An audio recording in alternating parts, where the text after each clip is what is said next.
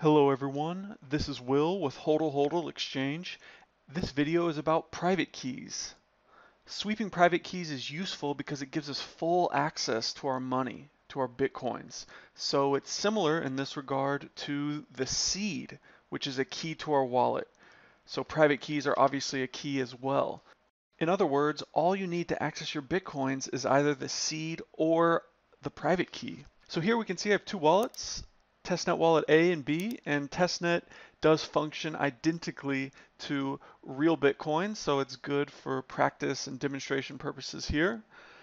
So let's go ahead and take 10% of a Bitcoin from wallet B. So I want to sweep the private keys into wallet A. So first let's obtain the private key. I can go to addresses and then I can see here I've 0.11 bitcoins in this particular address. So there's two ways of doing this.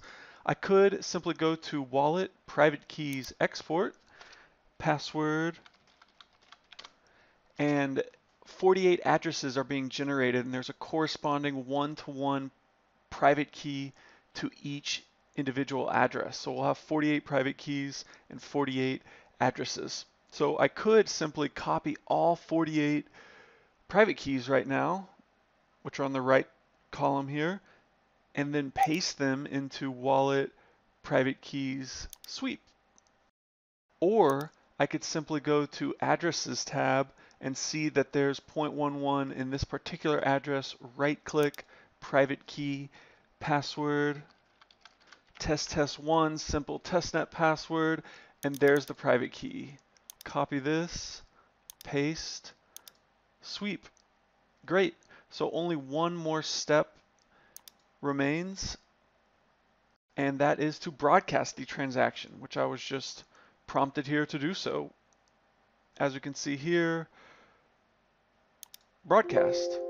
There's our broadcast ID, and that's all there is to it. We fully accessed our Bitcoins using a private key.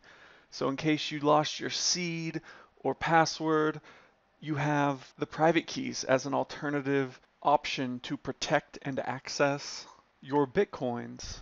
Thank you for watching. You can subscribe to our YouTube channel for more Bitcoin related videos like this. We have a Telegram chat you can contact us through. We communicate through that channel. And follow us on Twitter at HODLHODL. Thanks for watching. Bye bye.